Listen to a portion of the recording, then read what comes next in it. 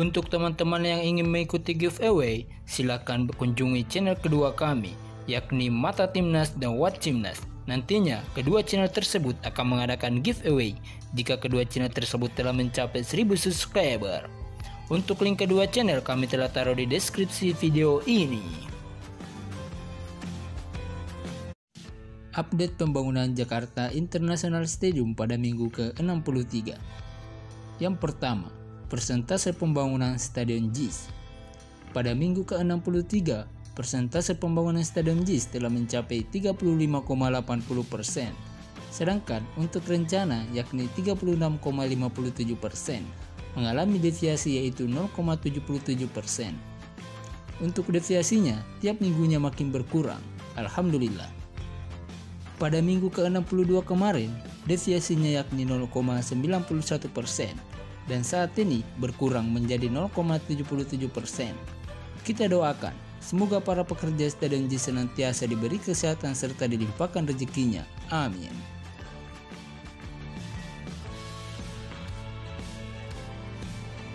Yang kedua, konstruksi atap Stadion JIS. Memasuki awal bulan November kemarin, konstruksi atap mulai berdatangan mulai dari temporary support sampai dengan main truss. Untuk kolon sleeve roomnya saat ini sudah memasuki pengerjaan pierhead dan sudah ada salah satu pierhead yang sudah mulai kelihatan bentuknya. Setelah pengerjaan pierhead nantinya akan ada pengerjaan pemasangan lift truss di setiap masing-masing sleeve room.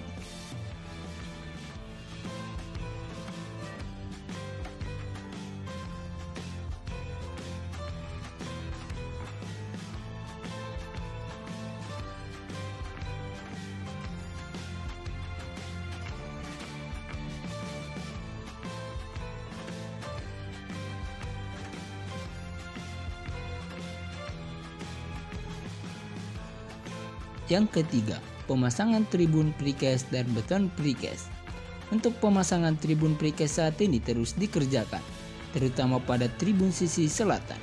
Dan saat ini sudah mulai terlihat bentuk dari tribun sisi selatan.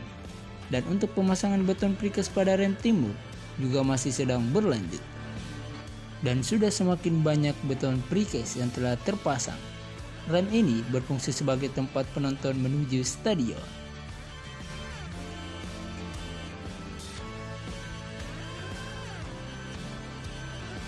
Yang keempat, lapangan latih. Untuk lapangan latih satu, untuk gelar rumputnya sudah rampung dan memasuki tahap perawatan, yakni berupa penyiraman rumput agar rumput natural di bawahnya cepat tumbuh dan bisa membentuk satu kesatuan yang solid dengan rumput sintetisnya, sehingga tercipta rumput hybrid yang berkualitas. Lapangan latih dua untuk pemasangan gawang saat ini sudah dilakukan dan telah terpasang dua gawang dan tiang corner juga telah terpasang di setiap sudut lapangan latih dua. Untuk garis lapangan dikerjakan apabila rumput hybridnya sudah siap 100% dan lapangan siap digunakan. Untuk tribun di lapangan latih masih dalam tahap proses pengerjaan.